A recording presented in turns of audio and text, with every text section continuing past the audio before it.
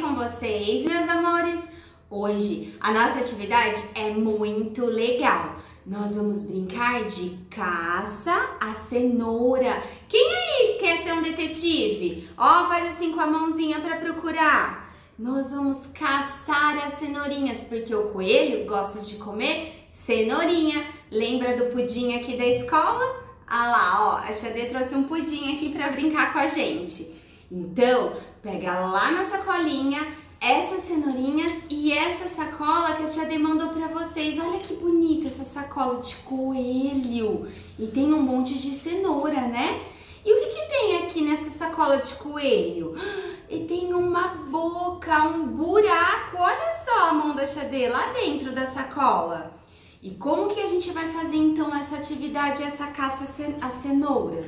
Papai e mamãe. Vocês espalham pelo chão da casa, pode ser no sofá também, é, aonde vocês quiserem, ok? Espalha pelo chão e pro neném procurar a cenoura. Espalha, espalha, espalha aqui, a tia Dê vai colocar aqui, ó. Daí o neném vai ter que caçar e procurar. Onde tá a cenoura?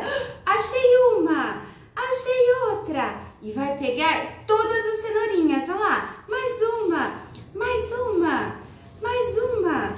Achei mais uma. Olha só que legal. E aí agora nós vamos dar de comer pro coelhinho. Olha só.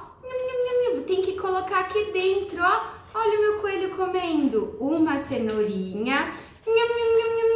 Duas cenourinhas. Três cenourinhas.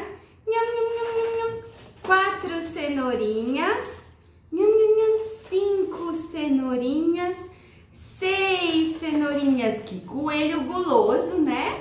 Pode brincar e repetir a atividade quantas vezes quiser.